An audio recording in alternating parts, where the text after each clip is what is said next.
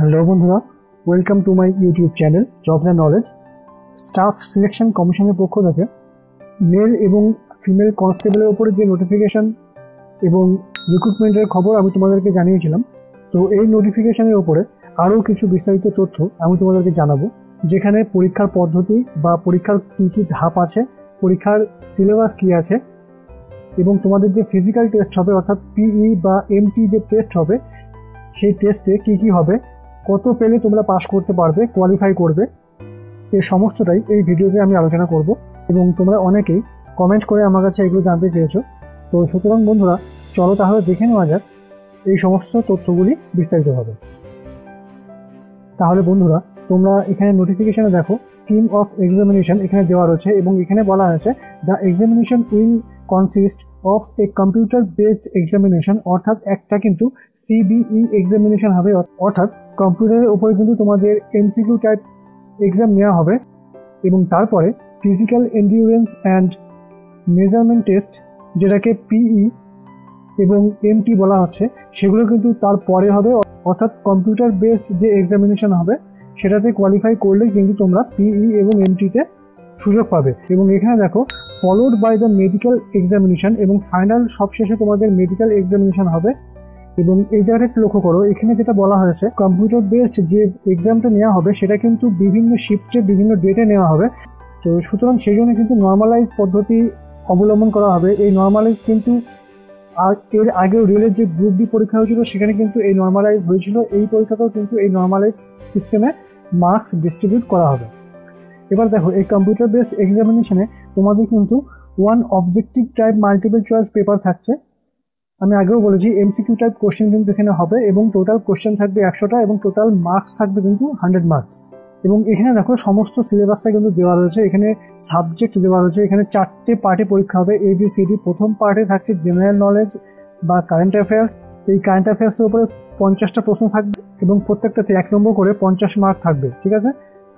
এবং এই সমস্ত পরীক্ষাটা কিন্তু হবে নব্বই মিনিটের বা দেড় ঘণ্টার মধ্যে। এরপরে আছে পার্ট বি রিজনিং এখানে রিজনিং থাকবে পঁচিশটা এবং নাম্বার থাকবে পঁচিশ নাম্বার।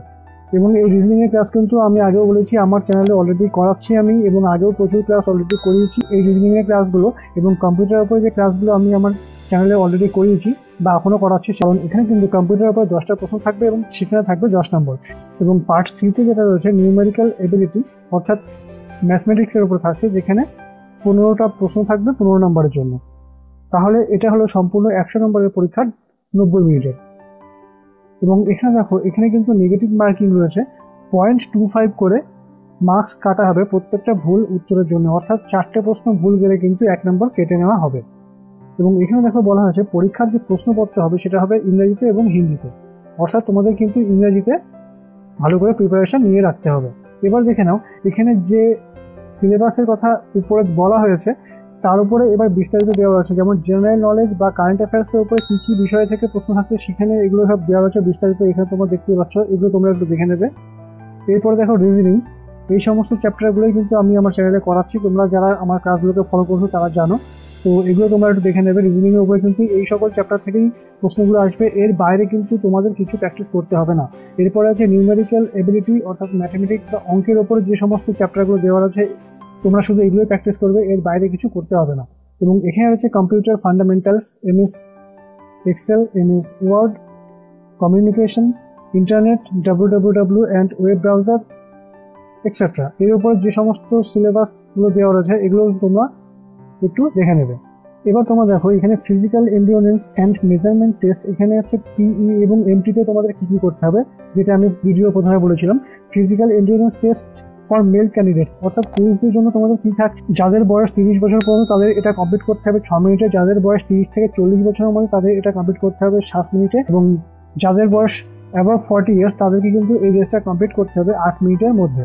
এবং এরপর আছে লং জাম্প লং জাম্পের ক্ষেত্রেও এখানে দিয়ে দেওয়া হয়েছে ডিস্টেন্সটা চোদ্দ ফিট তারপরে তেরো ফিট এবং সবার শেষে বারো ফিট হাই জাম্পের ক্ষেত্রে উচ্চতা এখানে বেঁধে দেওয়া আছে। তোমরা এগুলো সব একটু দেখে নেবে। এবং এখানে দেখো, এখানে এই যে লং জাম্প এবং হাই জাম্পের যে অপশানটা আছে, সেখানে কিন্তু তোমরা তিনটে করে চান্স পাবে। অর্থাৎ এখানে যদি এই সমস্ত উচ্চতা বা এই ডিস্টেন্স তোমরা প্রথমবারে কমপ্লিট করতে না পারো, তার পরবর্তীতে আরও দুটো করে চান্স কিন্তু পাবে। অর্থাৎ মোট তিনটে করে চান্স কিন্তু তোমরা পাবে। এবার দেখে নাও হাইটের ব্যাপারটা, যেটা তোমরা অনেকে প্রশ্ন করেছিলে। এখানে মিনিমাম হাইট কিন্তু হতে হবে একশো সত্তর সেন্টিমিটার এবং চেস্ট হতে হবে একাশি সেন্টিমিটার এবং ফুলিয়ে সেটা হতে হবে এবং চার সেন্টিমিটার ফুলানোর সক্ষম হতে হবে এবং সেটা ফুলিয়ে পঁচাশি সেন্টিমিটার কিন্তু চেস্ট থাকতে হবে। এবার দেখে নাও যারা মহিলা ক্যান্ডিডেট বা ফিমেল ক্যান্ডিডেট আছো, তাদের জন্য এখানে এজ এজের ভাগ এখানে দেওয়া রয়েছে। ঠিক একইভাবে বিভিন্ন এজের ডিস্টেন্স এখানে দেওয়া রয়েছে। ষোলোশো মিটার কমপ্লিট করতে হবে, আট মিনিটে, নয় মিনিটে এবং দশ মিনিটে বিভিন্ন এজ অনুসারে। লং জাম্পেরও সেরকমভাবে এখানে ডিস্টেন্স আলাদা আলাদা দেওয়া রয়েছে এবং হাই জাম্পেরও আলাদা উচ্চতা এখানে দেওয়া রয়েছে। এগুলো তোমরা একটুখানি দেখে নেবে। এবং মহিলা ক্যান্ডিডেটদের জন্য এখানে মিনিমাম যে হাইট হতে হবে সেটা একশো সাতান্ন সেন্টিমিটার। এবার এই জায়গাটা একটু লক্ষ্য করো।